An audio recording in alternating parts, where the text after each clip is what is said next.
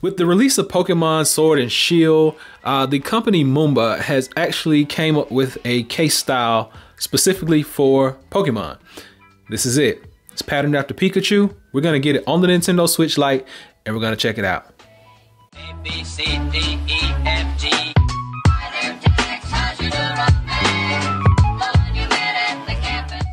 So this is a hard TPU. Uh, like I said, it's patterned after Pikachu from Pokemon.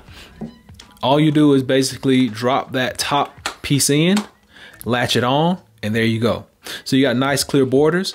Everything matches up. All of our buttons are right here. Everything looks good. Everything is a go. So down bottom, you still have your charging capabilities. Everything is nice and wide open, so you're not gonna have any issues with actually charging this device. Flipping over to the back, you can still see that Nintendo Switch logo and you get the Pikachu ears as well as a little Pikachu tail. And that is pretty much it, guys. Hard, rubberized edges, nice TPU.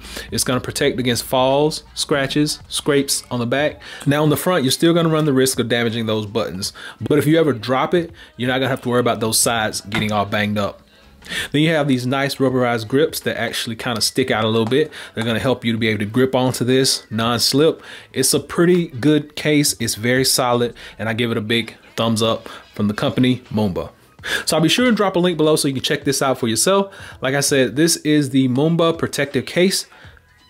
You got the Pikachu ears, you got the Pikachu tail. If you like Pokemon, it's a great case for your Nintendo Switch Lite. So hopefully this has been able to help someone out. Until next time, be sure and give me that thumbs up. Please subscribe. Average Tech out. Peace.